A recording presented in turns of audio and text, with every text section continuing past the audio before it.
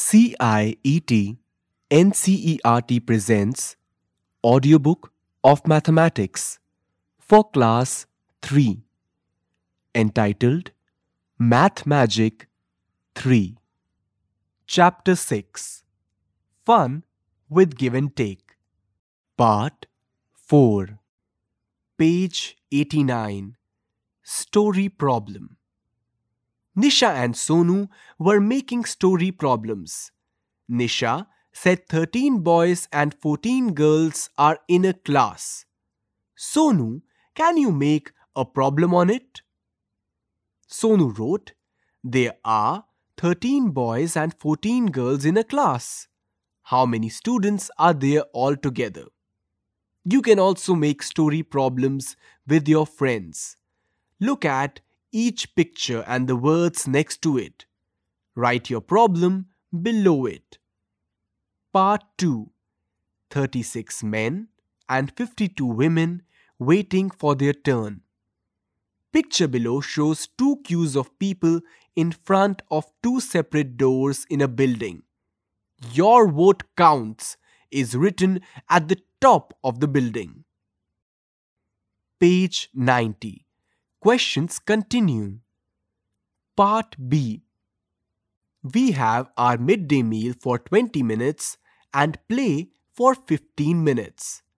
A group of students is sitting and eating at the left hand side of the picture below, and at the right hand side, students are playing in the playground. Part C.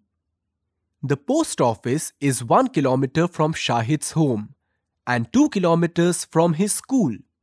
There is a school at the left hand side of picture below, a post office in the middle and a home at the right hand side.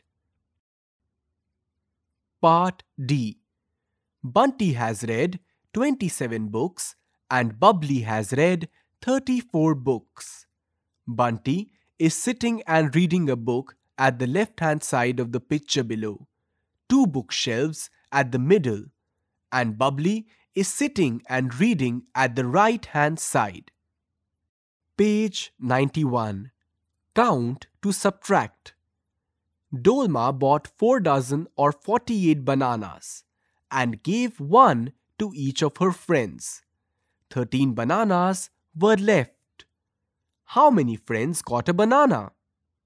As you know, this can be found by the counting forward from 13. It is easier to count in jumps of 10. You can also use Kittu's home shown on page 29 to solve these problems. 48 minus 13. Below this, there is a number line starting from 13 and ending at 48. The numbers are increasing in jumps of 10 till 43 and one jump of 5. First jump of 10 from 13 leads to number 23. Second jump of 10 from 23 leads to number 33. Third jump of 10 from 33 leads to number 43. Fourth jump of 5 from 43 leads to number 48. Let's count all these four jumps. 10 plus 10 plus 10 plus 5 is equal to 35. So, 48 minus 13 is equal to 35. Part A 56 minus 37 is equal to dash. Two jumps of 10 in forward direction and one jump of 1 in backward direction are shown below the part A. First jump of 10 from 37 leads to number 47. Second jump of 10 from 47 leads to number 57. Third jump of 1 from 57 in backward direction leads to number 56. Let's count the jumps. 10 plus 10 minus 1 is equal to dash. So, 56 minus 37 is equal to dash. Part B 60 minus 45 is equal to dash. Two jumps are shown below. First jump of 5 from 45 leads to number 50. Second jump of 10 from 50 leads to number 60. Let's count the jumps. 5 plus 10 is equal to dash. So, 60 minus 45 is equal to dash. Part C 80 minus 59 Three jumps are shown below. First jump of 1 from 59 leads to number 60.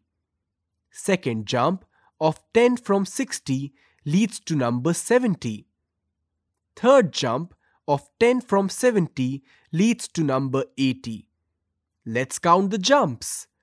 Dash plus dash plus dash is equal to dash.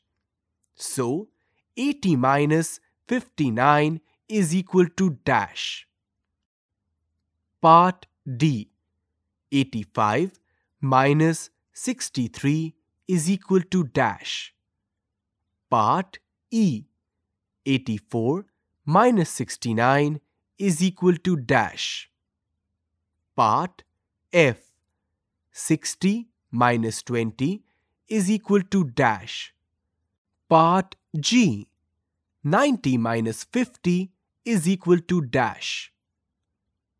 Page 92 All the king's horses.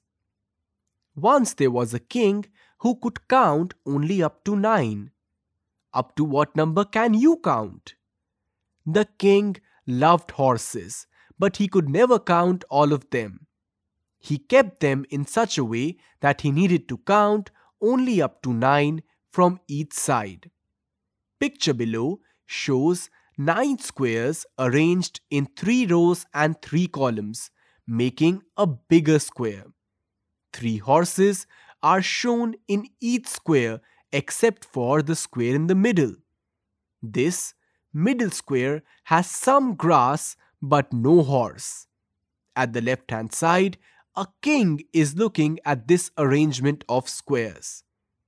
Below this, at right hand side, the above arrangement of squares is shown with number of horses written inside them. Assuming this to be a table of 3 rows and 3 columns, let's read it row-wise. First row 3, 3, 3. Second row 3 dash 3. Third row 3, 3, 3. Question How many horses in all did the king have? Dash.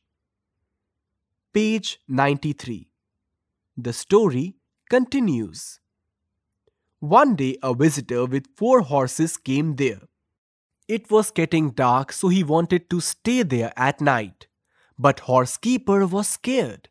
If the king saw these extra horses, he would be very angry. The visitor said, Do not worry, the king will never know. So he arranged the horses like this. Picture at the right hand side shows a table of three horses and three columns. First row 2, 5, 2. Second row 5 dash 2. Third row 2 5 2. Question How many horses are there now? Dash. Picture below shows two men who are thinking. The man at the left is thinking about the arrangement of horses.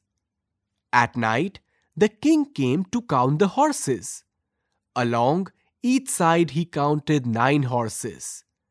Ah, that's fine, he said. Then he happily went to sleep. Page 94. The story continues. In the morning, the clever visitor tried another trick. He took out his own four horses, but he also ran away with some of the king's horses. He left the king's horses standing in this way. First row 4 1 4. Second row 1 dash 1. Third row 4 1 4. The silly king did not find any horse missing. Can you help him? How many horses are now left? Dash. How many of the king's horses were taken away? This story is based on a Tamil folk story from the book Numeracy Counts. Below this, a puzzle is given. What numbers are we? If you add us both, you get 100.